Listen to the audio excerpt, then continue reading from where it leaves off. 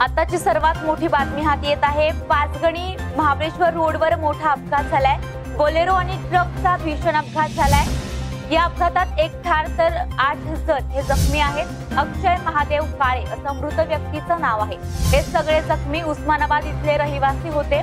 जखमींना पुढील उपचारासाठी साताऱ्यातील रुग्णालयात दाखल करण्यात आले. हे सर्वजण महाबळेश्वरला फिरण्यासाठी आले होते. आताची सर्वात मोठी बातमी हाती येत आहे. पाचगणी महाबळेश्वर रोडवर मोठा अपघात झालाय. बोलेरो आणि ट्रकचा भीषण अपघात झालाय. या अपघातात एक ठार तर आठ जण हे जखमी आहेत. अक्षय महादेव काळे असं मृत व्यक्तीचं नाव आहे. हे सगळे जखमी उस्मानाबाद इथले रहिवासी होते. जखमींना पुढील उपचारासाठी साताऱ्यातील रुग्णालयात दाखल करण्यात आले. हे सर्वजण महाबळेश्वरला फिरण्यासाठी आले होते.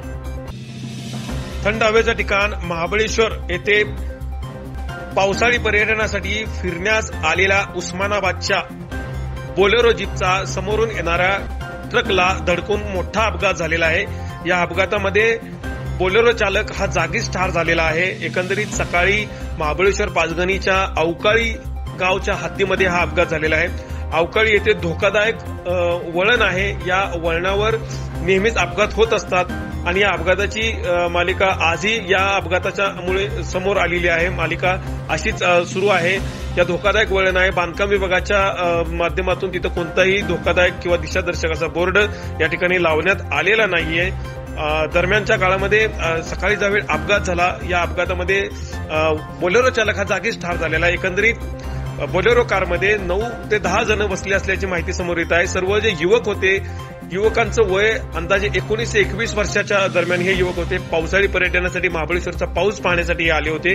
उस्मानाबादचे हे सर्वजण होते. एकंदरीत अपघात झाल्यानंतर सर्व जखमी आठ जखमींना तात्काळ सातारा जिल्हा रुग्णालयामध्ये दाखल करण्यात आलेला आहे. घटनास्थळी पोलीस दाखल झाले होते. समोरून येणारा ट्रक हा या बोलेरो कारला दिसला नाही आणि पाऊस मोठ्या प्रमाणात होता म्हणून हा अपघात या ठिकाणी झालेला आहे.